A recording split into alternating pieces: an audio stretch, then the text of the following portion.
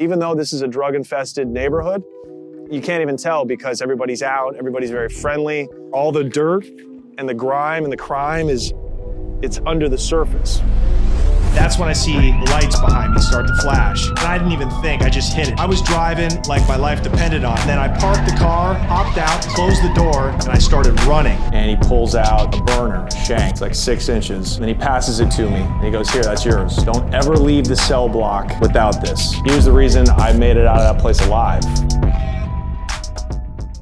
What's up, everyone? Welcome back to The Connect. My name is Johnny Mitchell. As always, follow us on social media subscribe to us on YouTube and turn on alerts so you get notified whenever we drop new content. Listen to us on Spotify, iTunes. You can listen to all of these episodes. Go over there and download us right now. And of course, the Patreon, patreon.com slash The Connect Show. It's where we drop our weekly podcast episodes of The Connect, and you get all that behind the scenes footage as well, stuff that's too raw to show you on YouTube. It's the best way to support us. All right, you guys, let's get into the episode. All right, so if you're a fan of the show, you know that I made my money as a weed man, a weed trafficker, in one of the last eras where you could blow up and get rich selling marijuana. And the way I did that was shipping it across the country to the East Coast, where the markup was double, even triple what you could make selling in Oregon and on the West Coast. I had several groups of buyers who I would ship my product to. Some came in and out, some didn't last. There were two groups of people, though, that really were thorough, real scramblers, as we used to call them. One was a group of mob connected Italian kids, young guys like me, out of Philadelphia. But the other group was the group that really made me more money than I could have ever imagined. This was a group of Dominican drug dealers from the neighborhood of Washington Heights in New York City. While we were in New York City filming with our friend Unique, the kingpin from Harlem, we decided to take a trip up to Washington Heights to pay homage to the neighborhood that made us rich. So when you reach a certain level of the drug game, you kind of lose touch with how it is that your product gets distributed. I would just send out huge amounts of marijuana and then cash would come back to me. It was like magic. I thought it would be cool to actually go to the territory where my product got funneled and distributed to consumers on the final end of the chain.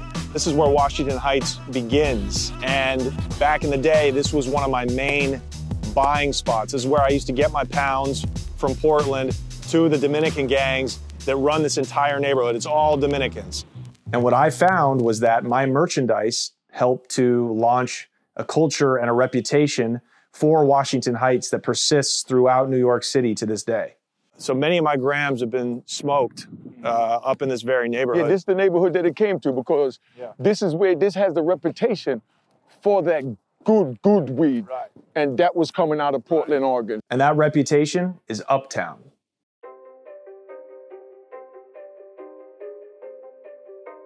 What is Washington Heights? It is a small, very beautiful neighborhood at the very top of Manhattan Island. And for many years in the early 20th century, it was exclusively a Jewish neighborhood. And in about the mid to late 70s, it became an enclave for newly arrived immigrants from the Dominican Republic. And their other island counterparts were the Jamaicans, who settled mostly in Brooklyn. So if you're a cartel from Colombia or Mexico, you can send as much product up to America as you want, but if you don't have anybody on the other end to receive it and move it on the retail level, you're stuck. And that's where the Dominicans and the Jamaicans really stepped up and made organizations like those in Mexico and Colombia very, very wealthy. And I don't know why. I don't know what it was about that island that just made them gangsters. Probably the history of it, right? Just like Jamaicans. They were really the ones who were able to take that product wholesale from the cartels, organize themselves, and distribute it on a retail street level. All these blocks used to have what we used to, what we used to call as companies, right? Because you know you had uh, the Dominicans was set up like a real company structure with their drug trade. It was it wasn't like what you see on TV, crackheads in the Bronx. No, it was they ran these things like a real company. You had your salesperson, you had the manager, you had the the, the general manager who's coming to supply the manager. They, they they ran it like a real company. You had to look out on the corner. It sounds like they were Dominicans fresh from fresh the island. from the island, and everybody had a job. At the beginning of the cocaine boom, the two major markets were Miami and New York City. Miami was easy for the Colombians because there were so many Colombian immigrants there already that they naturally became the distributors of the wholesale bricks coming up from Medellin and Cali. New York didn't have those kind of numbers of Colombian immigrants. They needed foot soldiers to help get the volume up. So in the early 80s, when Dominicans started flooding New York City and specifically Washington Heights, as Spanish speakers, naturally, they allied with the Colombians and became the exclusive retailers of Colombian cocaine bricks. And because they populated neighborhoods like Washington Heights and Inwood at the very top of Manhattan, this is how Uptown became associated with the best neighborhood in New York City to cop cocaine. Drug dealers from all five boroughs would head up to Washington Heights, where they could find a source that had the best product at the lowest price, and then take that back to their respective neighborhoods, where they would either sell it off as powder or cook it up into crack cocaine. Washington Heights is strategically one of the best locations in New York for drug trafficking. It's flanked on both sides by major freeways. On the east side, you have the FDR Drive. On the west side, you have the West Side Highway. And then you have I 95, which takes you directly into 165th Street in the very heart of Washington Heights, which can then pop you up to the Bronx, Westchester, into Connecticut, or it can take you back through into New Jersey, Pennsylvania, and into upstate New York. We're uptown, which is closer to the George Washington Bridge, which is closer to Connecticut, which is closer to Pennsylvania. Mm-hmm. You know, so you got all these areas. This is the tri-state area. You're closer to Connecticut. All these things, Jersey. So all these different states, especially at those times when Unique was outside, mm-hmm. you you have no choice but to come to New York mm-hmm. and get get whatever you needed because this is the this is the hub. This is the hub, like the, the hub for the whole East Coast. And because of that, the drug dealers had to be very noticeable. You had to be outside because, like I said, there were players coming from all over the tri-state, and they would drive here. And it's a gamble, right? Like you said, it's a rolling dice, but you gotta come here and actually see the person physically. You can't mm-hmm. just call somebody. Yeah. You gotta show up. So in the 80s and 90s, you could just drive through the heights and see a black dude speaking rapid fire Spanish. and you would see. You can tell the difference. A- back then, there was a lot of people always hanging outside, but you can see the difference. You know, because you're in the underground. You know what you you know what you're looking for. You get to the block, you you looking for the two three dudes that look familiar, right? So that's what you're looking for, right? And that's what it would be. It would physically you would have to be there and see it. You do see these out of town places, and you see guys searching and looking, and you stop them and you tell them yo, and they go yo, what's up? And you have the conversation right then and there. and literally weigh out whatever you needed right there and send you on your way. Dude, look at this building right here. It's crazy, right? Like it's, uh, it looks nice, but then you go inside of one of them and uh, it's fucked up still. But, you know, it's like the Spanish people, even though this is a drug infested neighborhood, you can't even tell because everybody's out, everybody's very friendly. Like, it reminds me of Latin America, where all the dirt and the grime and the crime is, it's under the surface. There's a certain warmth to Washington Heights. It's an immigrant neighborhood and it's got that Latin solidarity. when you come in, you had these different buildings Yeah. that's hidden, so you can do what you want to do. So, would I heard back in the day sometimes when the cops will be running, chasing somebody through the courtyard, people will be leaning out the windows, throwing shit at the cops. Exactly. you know what I mean? So that's how everybody look out for everybody, you know? There's a sense of pride in the community. When you're there, you don't feel like you're in the ghetto. You come up here, you be respectful. They came out, they was real respectful, and they took care of their property every morning. They was out here sweeping and washing down the sidewalk, you know, and just made sure everything was proper, you know? And, you know, they knew that we was hustling and we made sure the neighborhood was safe. Nobody bothered the regular business owners or the patrons that came through. It was just all respect and love up here, man. But the culture of high level drug trafficking has been there. There's a history in the Heights of already of a big, of a large drug trade and a large situation where people did already exchange these things. And it was the 70s and 80s that really set that foundation. The average Dominican makes about $50 per month, barely enough money to survive. Selling crack cocaine on the streets of America, they can make thousands of dollars in profits every week. It's a temptation that more and more people here are finding hard to resist. What's up, you guys? I got to take a minute to thank our amazing sponsor for today's episode, Manscaped, the world leader in below the belt grooming. You guys, Manscaped is now introducing the Weed Whacker 2.0. It's got skin safe technology and no tugging guaranteed. And now they've also got another product to keep your hair under control. No, no, no, no, no, back up here on my face.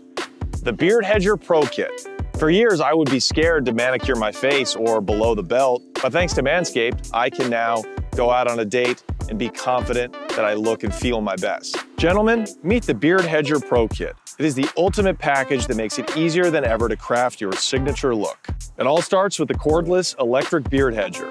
The beard hedger is tough on hair but smooth on your face, leading to single stroke efficiency that brings satisfaction one stroke at a time. The Pro Kit also comes with four dermatologist tested formulations for your post trim care. This includes Manscaped's beard shampoo and conditioner, beard oil, and beard balm to moisturize, style, and shimmer your new beard. And last but not least, the brand new Weed Whacker 2.0, offering improved blade and skin safe technology with a no tugging guarantee. You guys, it's never been so painless to mind your manholes. Your significant other will thank you for it. Go to manscaped.com and use promo code THECONNECT for 20% off your order plus free shipping. Again, that's THECONNECT when you go to manscaped.com and use that promo code. You get 20% off plus free shipping. It's unbeatable. You guys do yourself a favor and start grooming the right way. Let's get back into the episode.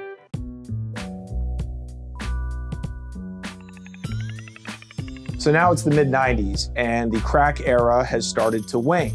The Colombian super cartels, Cali and Medellin, collapsed. The first generation Dominican kingpins either got locked up or they fled back to the DR.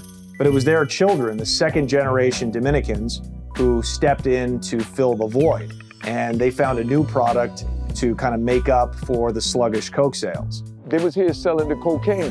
But but then the younger generation after that, that smoked the weed, they started getting the good weed. Right. And they got nothing but the best weed. And that was, you got it, marijuana from the West Coast. Because before, you know, for example, you had to invest, I don't know, maybe thirty thousand dollars into a brick of cocaine for Yeah. you to go ahead and, you know, flip Yeah. that or whatever the case may be. Which now you take that same thirty thousand dollars and you go buy twenty pounds Yeah. of haze, Right. and you kind of getting the same points now, Right. right. Because now before back then, you would make a couple thousand wholesale off a sour, Yeah. off a haze, So, as you know, if you've been watching the channel, most of the weed in America back in the 70s and 80s was imported, first from the Colombians, then the Jamaicans, and then finally the Mexican cartels, specifically Guadalajara. But in the 90s, on the West Coast, is when domestic marijuana really started to boom, specifically in the Northwest, where I'm from. And as time moved on, more and more West Coast traffickers realized they had a gold mine in the Midwest and East Coast markets. Back then, you buy a pound of weed from Portland, Oregon, and it'll be uh, coming two pound bags. they couldn't get the quality that we had. All that imported weed that they had from Mexico was like garbage compared to the shit that we had in Northern California and Southern Oregon. The stuff that I was moving. And when you go buy the weed, you know the little woodchucks that they put around a tree like that for make it look good? They'll actually take the woodchucks because it was brown like the weed and throw it in the bag and mix it in with it and use the woodchucks as the weight. So you might get a quarter pound and you get three and a half ounces, you know what I mean, of weed and you get a half ounce of woodchuck. You know what I mean? And in Unique's time, in the early 90s, West Coast bud in New York was a luxury. None of that stuff existed, you know, un- until maybe like 15 years ago for us here, right? Right.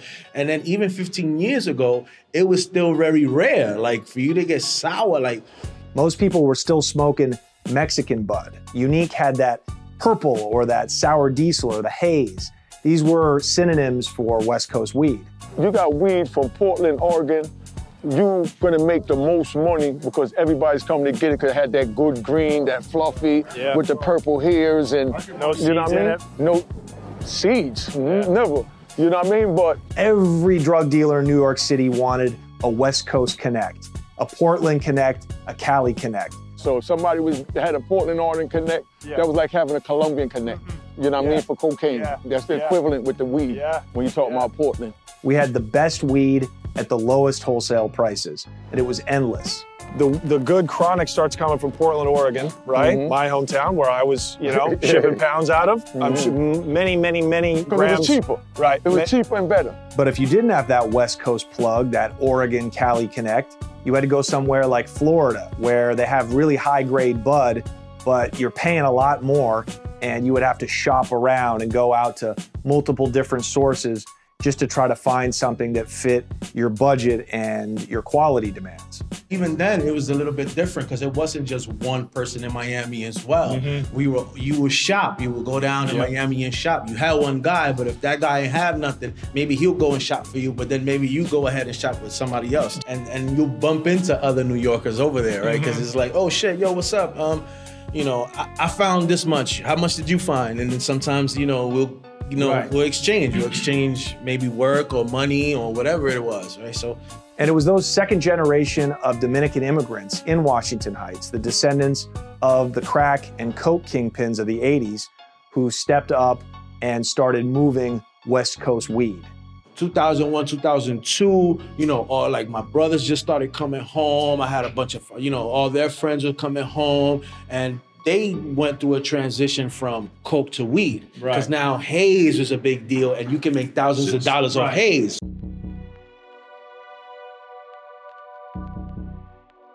So it was the spring of 2010, and I was out in Philly meeting with my buyers down there. I was doing a little bit of networking, checking on operations. And one night we were out partying, and I was buying out the bar, being a good supplier, so to speak. And I meet this kid named Alex, this really good looking, light skinned Dominican guy. And he was a good kid. He was a college kid. He went to Rutgers. He wasn't involved in the street, but his cousins were. And as soon as he found out what I did and where I was from, he got all excited. He was like, Oh, my cousins would love to meet you. And I needed new customers at the time. I didn't want to rely fully on the kids who were moving it for me in Philly. So I thought, let's expand the market a little bit, Mitchell. And I agreed to go up to New York and meet with these guys. So the next day, instead of flying back to Portland, I took the Amtrak from Philly up to New York. I get on the subway at Penn Station with the address that Alex had given me, and I took the train up to the Heights, to Inwood, actually, the very tip of the island. You could see the Bronx on the other side of the river. He told me I was looking for a street called Dyckman. So I get off the subway at Dyckman and I go to the address that Alex gave me and I meet his cousins. And they operated at the back of a Boost Mobile store right there on the commercial strip, right on Dyckman. Real nice guys, very Latin, welcoming. Oh, you're, you're a friend of Alex? Okay. Oh, you're from Portland? Oh, I've never been to California, you know? Just good dudes, potheads, right?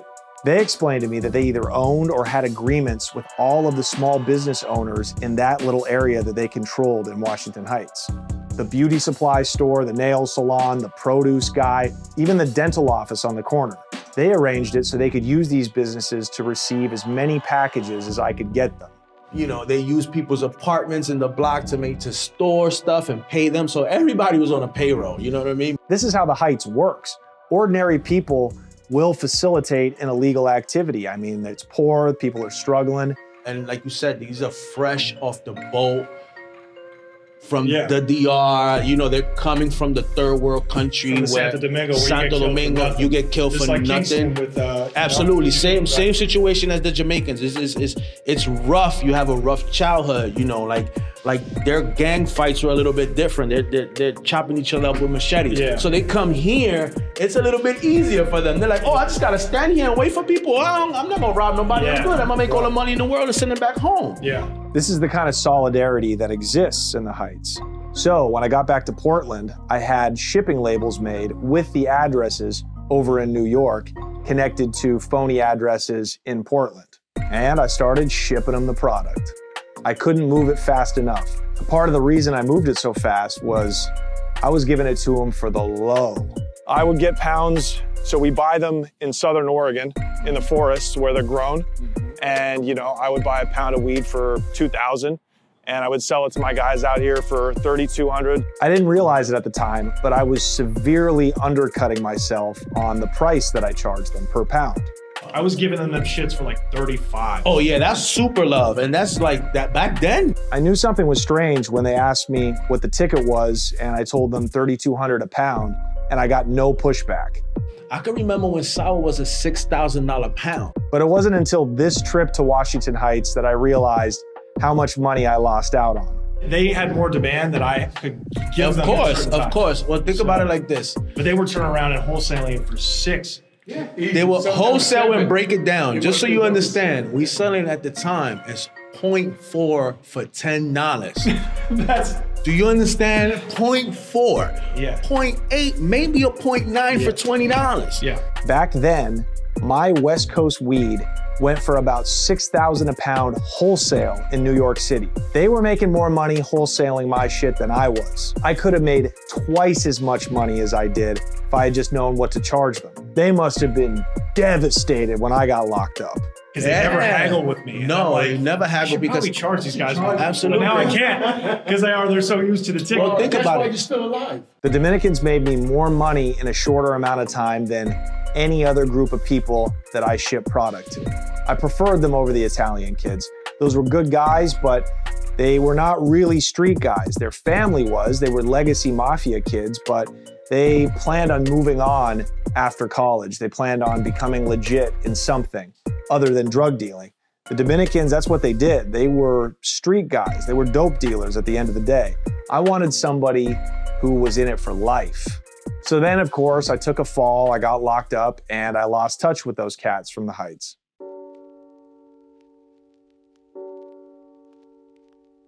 But years later, I returned to Dyckman to see how the neighborhood had changed and how the game had changed since New York legalized weed.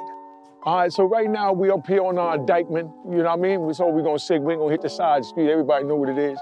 But this where all the weeds used to come back in the day to get the best, what we call chronic. Over to Mecca, we call it the Mott's. You know what I mean? So this where all the weed was at. And uh, this Dominican town, man, it's Dominican land. In many ways, it's changed a lot, and in some ways, it's still like the 1980s. My producer and I went to buy a bag of weed just as an experiment, and we walked into one of these little alleyways below one of those old tenement buildings, and they were selling weed like Unique used to sell it at his Herbgate spot back in the 1970s. But unlike back then, they had a menu on a whiteboard that was plastered to the side of the wall. Okay, so this is like a typical Washington Heights weed spot. So it's through one of these little walkways at the side of the buildings. And what you do is you come down here, and usually there's a door back here, right? It's usually like a whole iron door. And what they'll do is there'll be some dudes on the other side of this, and there'll just be a hole cut out in the side of the door. And you just tell them what you want, and you'll pass them through a 20, a 40, a 100, whatever, and they'll just slip you back your chronic. It's that simple, you know? And then what are the cops gonna do? They can't get in here. Take them a half an hour, they'll have to cut the whole thing out, and by that time, you're fucking long gone. So, yeah, that's, uh, and there's, there's spots like that all over this neighborhood, just dotted through it. So there's that part of Washington Heights, that real trap drug dealer operations that still go on. But then later that day, we walked past a guy who basically had an ice cream truck filled with different weed flavors, selling it right out in the open. He was parked right on the street in front of the projects. Okay, so right behind me, there's a weed truck, just right out in the open, selling 20 bags of good weed, fire, stuff you would see in like a dispensary in California. And it's just like an old van that they post on the side of the road like it's a lemonade stand or something. So that's the evolution, right? Like it's probably weed that comes from Portland, probably from the West Coast, but they're out here selling it in the open. Cops don't care, nobody's fucking with it. You got the menu up here. One gram of good weed, 15 bucks. So that's how much the prices have come down. Back in 2010, in my day, they could probably get $35 for a, a gram of good weed, like fire indoor weed that they're selling here. Uh, so you just see like the whole country is flooded now. We interviewed some guys, some locals, born and raised in Washington Heights. And so now here I am in a building in Washington Heights talking with dudes, maybe not these exact people, but you know, uh, an, a weed man, somebody. Yeah, similar situation yeah. for sure. Similar Okay, cool. So tell sure. me, tell tell us who you are. All right, well, my name is Ramon Reyes. Um, I have a brand called Happy Munkey, uh, born and raised New York, Washington Heights. They called themselves legacy kids. Legacy guy my whole life, and what we mean by legacy is basically the street guys, right? Mm-hmm. They used to operate in the old world, in the underground. They were drug dealers. Did you start working in Washington Heights? all day. That's Gotcha. it, born and raised. So that's, Right. that's where I started everything. Yeah. Like everything, I learned it in my four walls, in my apartment before I even came outside. They started out as corner boys and guys who would wave customers down on the streets back in the day. So you grow up in these things, just like, for example, like Goodfellas, right? In Goodfellas, you